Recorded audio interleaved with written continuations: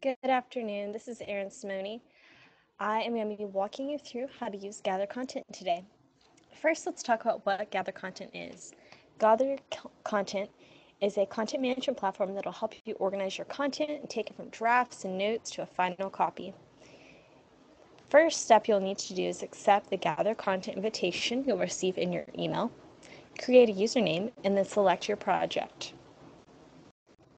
After you select your project, you'll be taken to that project's overview page, which is what we see here.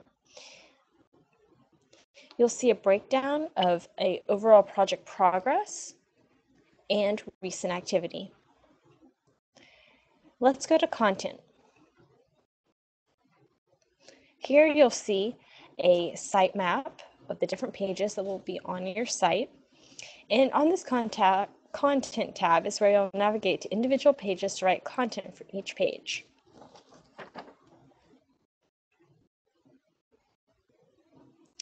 After you click on a page, you will find ideas and notes and content blocks to draft or attach content. So we'll see here on this page, we have an instruction to write 500 words max to give an overview of research programs. Let's look at another page.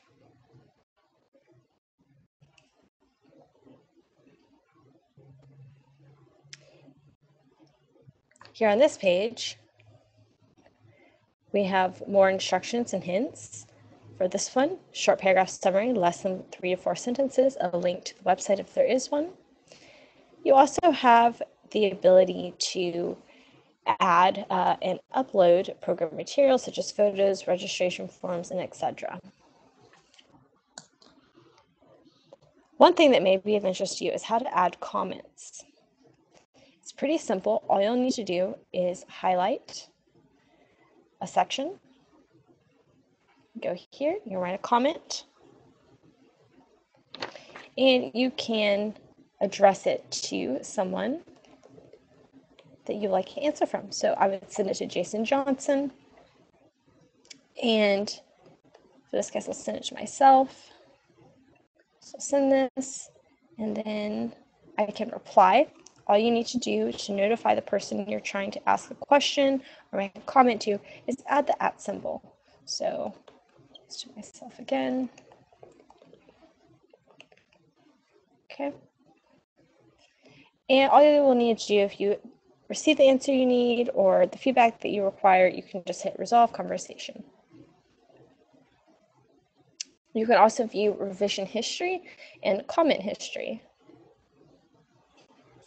to see my comment has been the only one on this page. And then we can also do a revision history and just see all the revisions that have been made.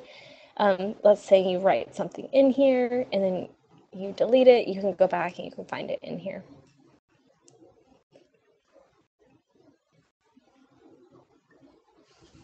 Something you may have noticed is we have all of these colored dots up at the top and back on the uh, overview page, you'll also see that we have these colored dots. You may be wondering what what do those signify? And those signify the workflow. So that just signifies where the page is in the workflow. So if it is in drafting or if it's ready for editing, uh, ready for the AgriLife communications team to review, going back up to uh, the project leader um, at your center or on your project for review. And after you've filled out um, or made edits to a page, what you'll need to do, let's go back to this page, is you'll need to update um, the status. So you can mark it as complete, and you'll see here once um, you mark it as complete, it will be reviewed by the senior editor and a subject matter expert here in our team, um, and then we'll do testing later. So um, the workflow categories may be a little different depending on your project, uh, but they'll roughly be about the same. So drafting, review, editing, approval, publishing, and then live on WordPress. So you just hit complete and then um, we would receive a update that's ready for review. Another way that you can update the status, let's say you have multiple pages that you have been populating, you can just click right here actions and you can update the status.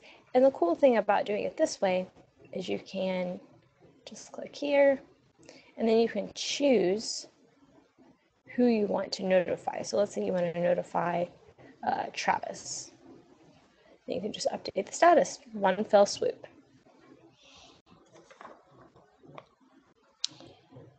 This has been a quick overview on how to use GatherContent. I want to thank you so much for your time today, and please reach out with any questions. Thanks and take care.